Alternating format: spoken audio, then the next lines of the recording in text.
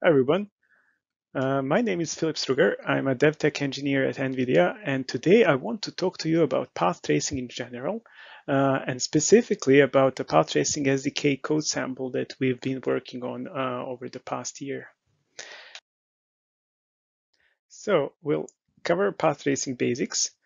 We'll uh, cover all the hardware and software features that help us accelerate path tracing.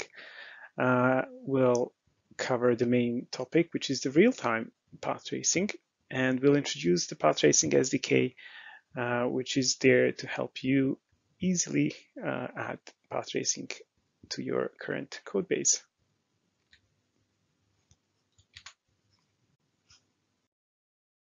Okay, so let's take a high-level view of uh, what path tracing is and why why is it so important to us. In this talk, when we refer to ray tracing, we usually refer to the mechanical process of tracing a ray through some kind of scene and figuring out what it hits.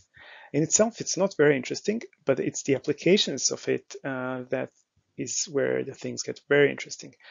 Over the past years, games have been integrating uh, some applications of ray tracing into their rendering engines. Uh, it's typically shadows, reflections, ambient occlusion, global illumination, Ray tracing offers real benefits there over traditional uh, rasterization-based methods, uh, such as being able to handle light and shadows from millions of light sources. Um, path tracing is another application of ray tracing, but it's it's not just a single uh, effect like reflex, reflections or shadows.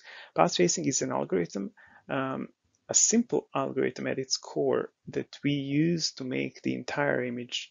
It's um, it's an algorithm that basically solves the rendering equation iteratively by collecting lots and lots of light paths.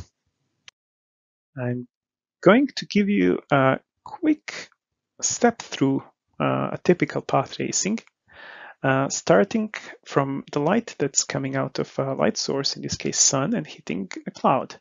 Uh, this particular ray happens to bounce off the cloud and it happens to shoot off towards a tree where it hits a green leaf. And just considering the diffuse part of the reflection now, the red and blue light gets com almost completely absorbed by the leaf and uh, the remaining light can be re-emitted uh, in essentially any direction from the surface. This example uh, happens to shoot off into the sky and then into space, never to be seen again. Each of these lines uh, we call a path segment, and the entire path uh, of the light is referred to as a path. Now, but this specific path is completely useless to us because the camera is here and none of the light comes to it.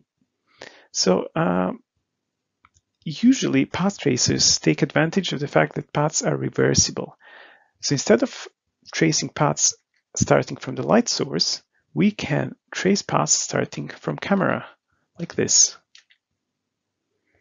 This way, uh, almost all paths will contribute something to the image. Not all will contribute the same amount of light, uh, but more on this later.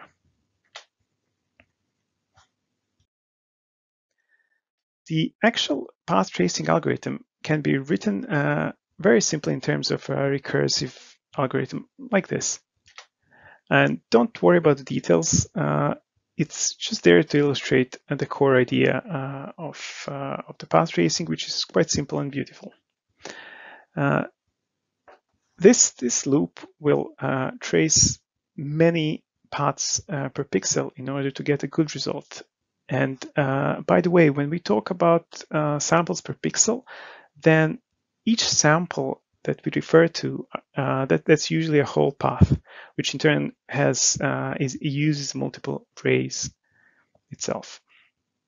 So once we execute this many times per pixel, uh, in the end we get a beautiful image like this.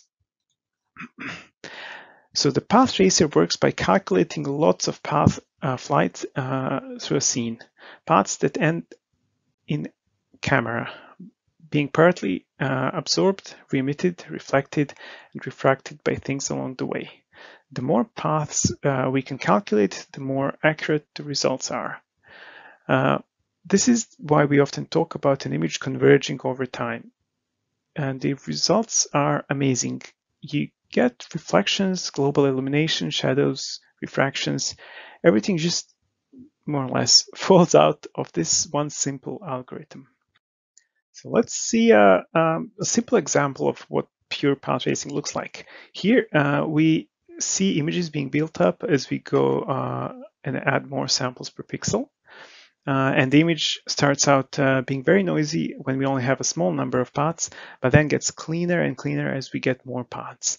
Uh, and this highlights the main issue. Um, the number of samples that we need to do per pixel to get a, a good, good image. Even at 1000 samples, the image is still not good enough. It's, it's noisy. And this brings us to the reason that until recently, path tracing has been confined to offline rendering. It's simply expensive. Each segment is a ray traced through the scene. Each path has many segments. Each pixel needs many paths. It depends a lot on the scene, but many thousands of paths are, per pixel are not uncommon. So let's talk a bit about how we can accelerate path tracing.